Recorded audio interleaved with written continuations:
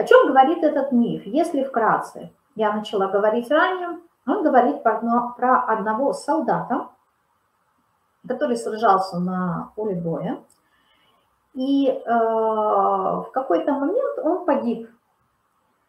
И когда пришли люди собирать трупы для того, чтобы сжечь, потому что раньше все-таки сжигали трупы, а не э, хранили, то увидели, что тело этого солдата не разлагалось. Прошло 12 дней, а оно не разлагалось. А, это было большим удивлением, и когда его перевезли, перевезли на а, место, на костер, где должны были сжигать э, все трупы, он неожиданно встал, и а, на удивление всех тех, кто там присутствовал, начал рассказывать о своем внетелесном путешествии. И вот это вот внетелесное путешествие с помощью души, да, то есть куда вне тела, да, вне телесное путешествие, куда он ходил, что он делал, кого он там встречал. Вот об этом и есть не тело, которое на первый взгляд э, казалось, что оно мертвое, потому что оно было неподвижное. А было неподвижное причина того, что в нем не было души. Но поскольку это не была физическая смерть, то есть он не умер, Потому что при физической смерти, когда человек умирает э, между душой и э, телом, есть серебряная нить. Да? Опять-таки вспоминаем э, мифологию, да, когда обрезается нить э, жизни. Так вот, вот эта вот нить, она не дала э, возможность умереть телу, то есть он по этой причине не разлагался. То есть душа вышла, но это не была окончательной смертью. Поэтому тело оно а, не разлагалось, так как разлагалось тело других людей. Речь пойдет о душе, которая, с одной стороны, выбирает себе либо находиться а, в кольце перерождения, либо, с другой стороны, уйти, а, выйти из колеса сансары, да, из колеса перевоплощений и пойти далее. Но куда идти? В мифе он нам рассказывает – Сейчас он просто дает эм, как этот э, подтекст, да, подкаст того, что мы будем изучать. То есть это первые два предложения. В одном он говорит о том, что я не буду делать акцент на том, как стать более умнее и развить свой интеллект, а на том, как развить э, свою душу, потому что в этом есть большая ценность, но при этом не идти в перекос, а именно соединять и быть в балансе, в золотой середине. То есть, проще говоря, он нам рассказывает о том, что я не буду вам э, рассказывать о том, как бы сделать перекос э, в правое наше полушарие, а расскажу, как нам сделать акцент на левом полушарии и находиться в гармонии, потому что развитие души, оно важнее развития интеллекта. Поскольку душа бесконечная, а интеллект, который привязан к телу, он окончательный, он ограниченный, а душа неограниченная. И он предвосхищает, говорит о том, что нельзя идти ни в одну сторону, и нельзя идти ни в другую сторону. Ну, то есть, чтобы не было перекосов. А все должно быть в золотой середине. Но поскольку люди делают акцент на развитие своего интеллекта, то есть как стать умным, не обращают внимания на развитие своей души, он делает акцент на это.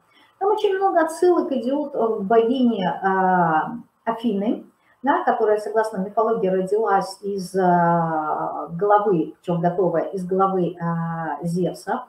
И поясняется, почему именно во время э, войны афинян и атлантов, почему выиграли именно афиняне, так как э, богиня данная, да, она могла с одной стороны э, дать мудрость, то есть ум, а с другой стороны она давала разумность. И вот одним она давала, то есть есть разница э, между умом, то есть между мудростью и разумностью. То есть разумность намного выше, там потенциал больше, э, э, чем мудрость. Мудрость – это жизненный опыт и знания.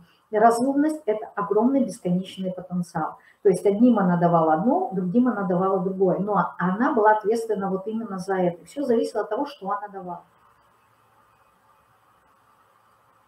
дословно здесь Платон говорит о том, что дальше в этом путешествии все души попали в место, где находились высшие существа, именно в, как это, как, как бы бесформенный, да, но воздушный, воздушный эфир, да, в, в как этот, форме эфира, но при этом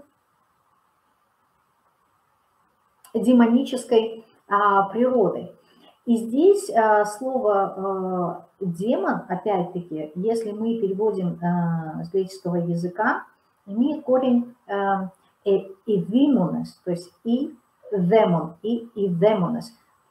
И это переводится как знающий. То есть не просто ведущий, вот так скажу, потому что знающий это все-таки как-то ограничено в контексте ума, а это ведущий. То есть, по сути говоря, они попали, души попадают э, в такое место, в котором находится высшие существа в эфирном теле э, и при этом э, эфирном демоническом теле, если так дословно переводить. И демон здесь подразумевается не в контексте негативного существа. А, какого размера душа? Сейчас расскажу. А, душа – это частичка, вот прям частичка крупица, это не размер.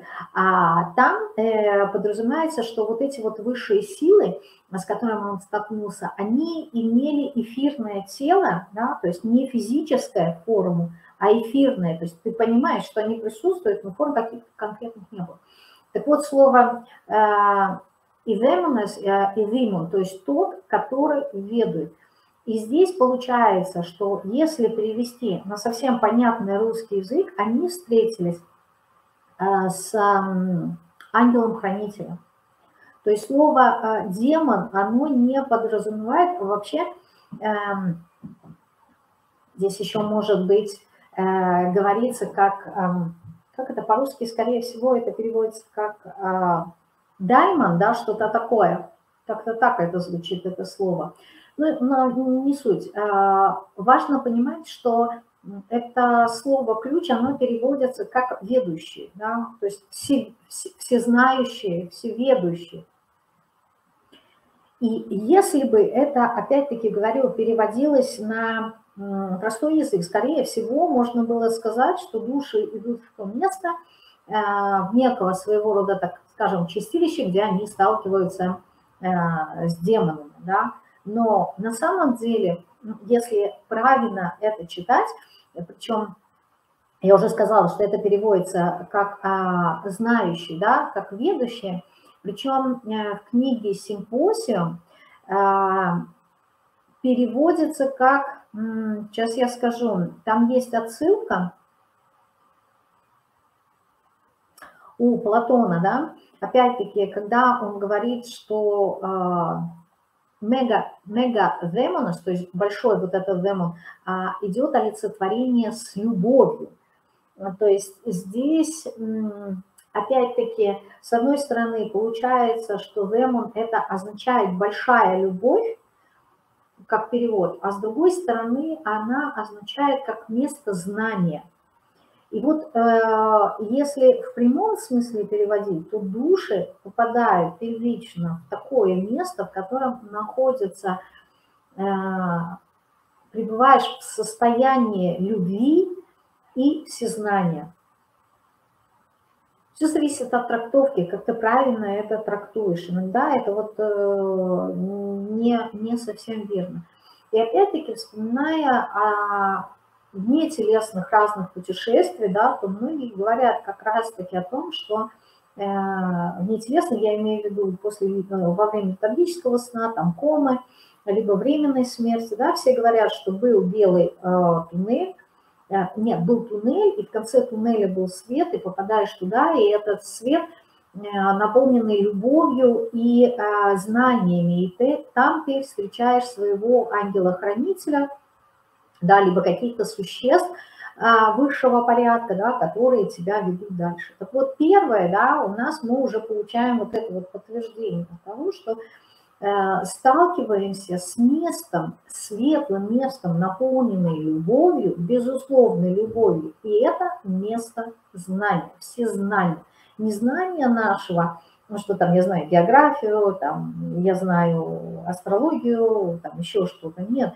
А это как своего рода, да, как мы говорим, яснознание, я не могу это объяснить, да, либо как интуиция, но у меня вот есть эти знания. Так вот это вот место, в которое э, многие попадают во время даже медитации для того, чтобы а, получить ту или иную информацию. Можем ли мы сказать, что это а, может быть как а, этот эм, А как она называется-то по-русски, блин? Э,